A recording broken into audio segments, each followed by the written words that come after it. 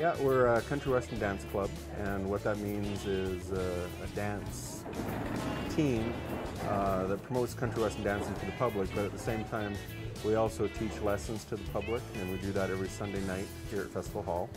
And uh, everything from two step to swing and some line dancing. Uh, we also have a team practice that we do first, and then we teach lessons to the general public, and we go through all the different kinds of dances that we do. And do you guys do competitions as well, or is it just kind of a recreational thing?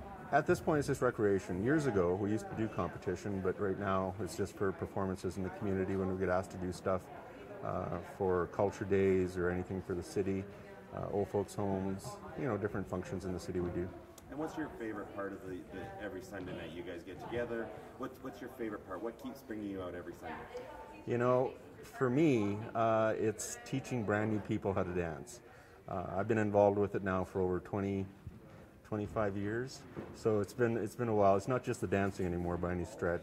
When I see people come to dance and they actually uh, learn something that they couldn't do before, and they say, "Oh, I can't do that," but then they do it. That's what makes it for me.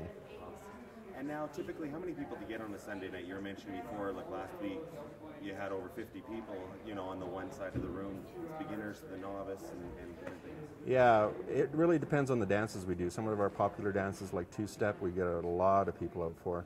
Uh, we had, I think, for the last session, we had almost 70, 80 people out for that. And uh, it depends if we're doing swing or whatnot, then there might be a few less, or cha cha. So it varies probably between, you know, 40, 50, 60 people.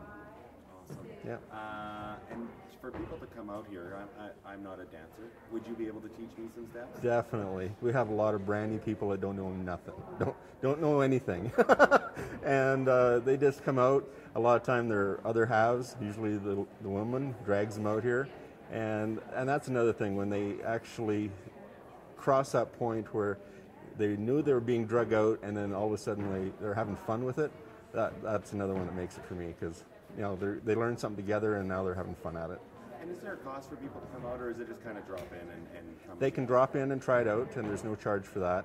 Uh, our sessions, we do charge for that. Uh, d- depends on the length of the class that we do.